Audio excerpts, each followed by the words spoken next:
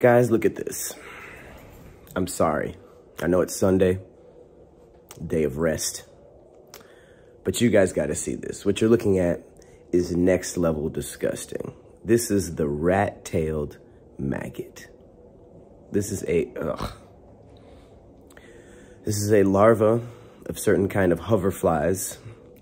And uh, they have tails.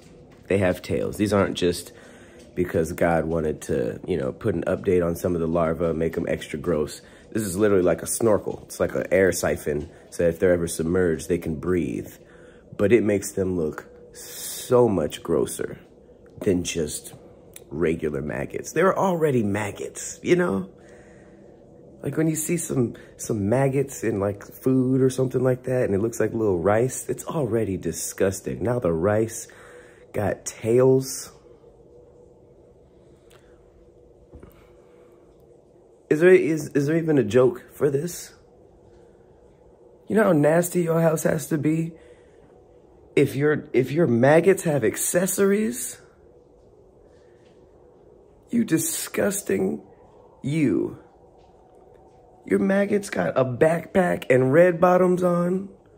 Why are they so comfortable? What?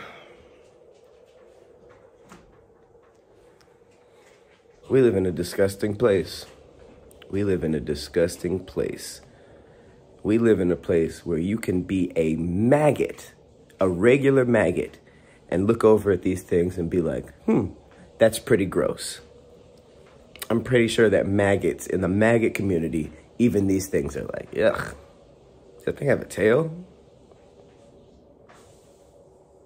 What kind of, what kind of fly?